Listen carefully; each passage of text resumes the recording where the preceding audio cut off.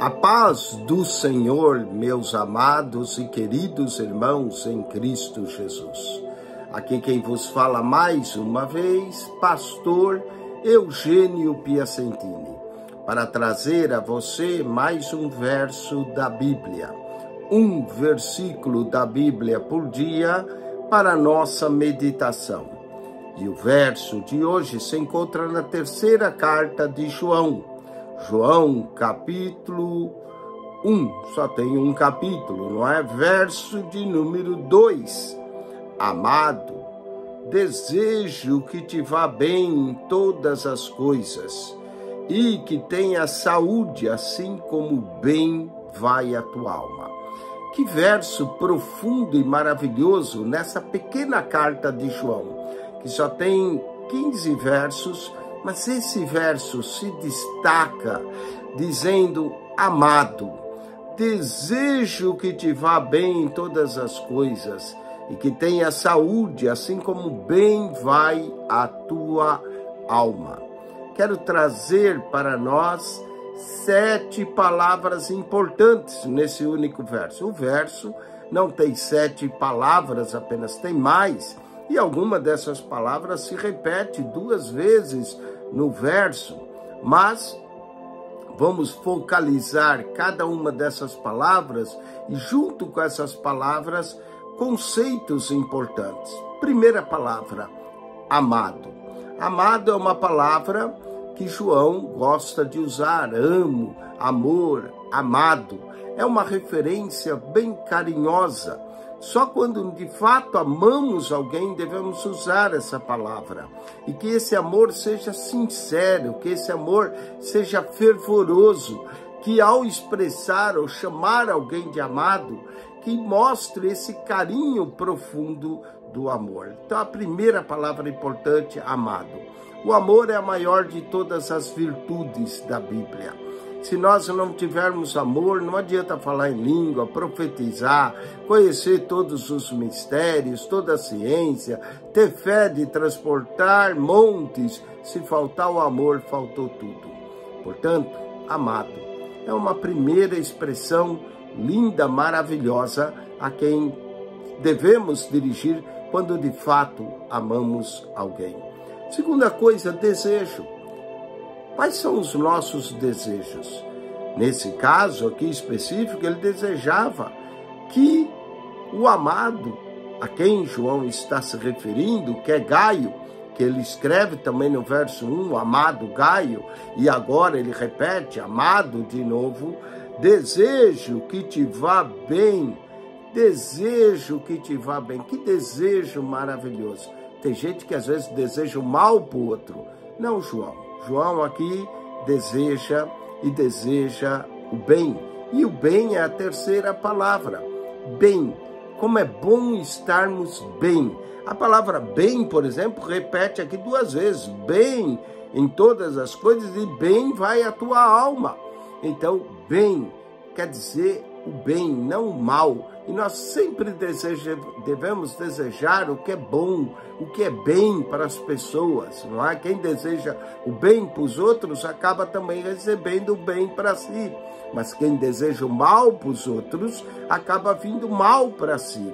Então deseje, deseje sim o bem, amado, desejo, bem, bem, coisas boas, coisas de bem. Quarta coisa, todas as coisas, todas as coisas. Ah, não envolve apenas um bem-estar, porque às vezes tem gente que está bem, até de saúde, que é uma das coisas que ele vai mencionar aqui, mas está mal financeiramente. Está bem, às vezes, num relacionamento, mas está mal de saúde. Mas aqui ele desejava que fosse bem todas as coisas. Todas as coisas envolvem todas as áreas da vida. A vida na área emocional, na vida na área financeira, na vida da área de saúde, em todos os aspectos da vida, é bom que nós estejamos bem. Bem em todas as coisas. Então, amado, primeira palavra. Segundo, desejo. Terceiro, bem Quarto, todas as coisas, que abrangência maravilhosa. e que tenha. Verso, verso 2 é a quinta palavra que eu quero mencionar, ainda tenha. O que, que nós devemos ter, não é? Até, às vezes é importante ser, mas há momentos que temos que ter. Nesse caso aqui, ter saúde. Saúde. Essa é uma riqueza. Muita gente acha que só o dinheiro é riqueza. Mas cuidado com a tua saúde. Cuide dela. Seja saudável. E há uma grande diferença em não ser doente e ser saudável. Tem gente que não é doente, mas também não quer dizer que é saudável. Ser saudável, ter saúde, é ter força e energia para fazer o que você necessita. Saúde, uma das riquezas. Tem gente que no início da vida troca a saúde dele pelo dinheiro, mas quando fica velho, vai trocar o dinheiro de volta pela saúde. Com saúde nós podemos fazer tudo.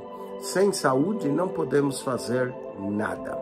Tenha saúde. E a última palavra, palavra importantíssima, alma. Alma vem do grego de psique. A alma é a nossa psique, a nossa psicologia, a nossa psiquiatria, tudo tem a ver com a nossa alma. E principalmente o que se perde é a alma da pessoa. De que adianta um homem ganhar o mundo inteiro se vier a perder a sua alma? Pense na sua alma. Como está a sua alma? Aonde sua alma passará a eternidade? O corpo morre, mas a alma segue adiante. Enquanto estamos nesse corpo, tenhamos saúde, mas para a vida eterna, que a nossa alma possa ir bem, bem ao encontro do nosso amado Jesus.